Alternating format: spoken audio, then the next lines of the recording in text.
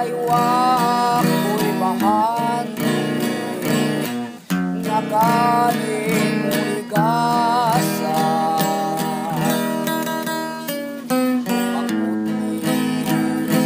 maunay pasari maoy bahandi labaw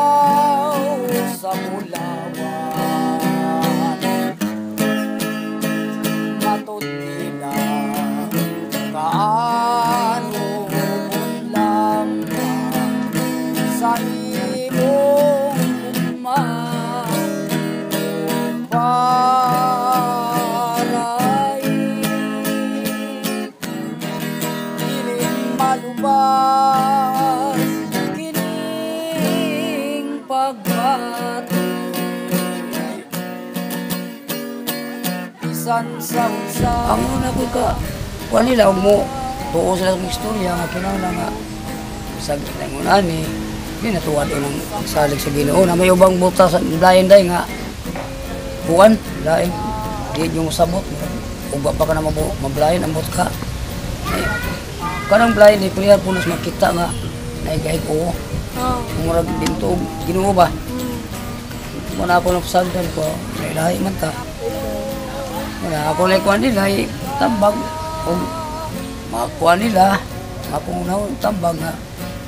Ilang unaw lang pamilya. Di sila mag magkuha ng mga laing mga butang. Ang ilang panginabuhi. Kaya nung na sila mga bata nga nga yun ay mga kaugmaon maabot kung wa na ta kay wa wa tay bandi bili nila wa tay yuta mo ra gyud na ang pagpahuman ng eskwela Apong isulti lang kung di mo sabot ang gino-online may ibaw nila dahil manang di mo sabot. Pero unsa may mo isulti bahin sa course ninyo na unsa Namura na nga, bisag naingutaan eh. di na puwas paglaom, di na to kalimtan ang ginoo.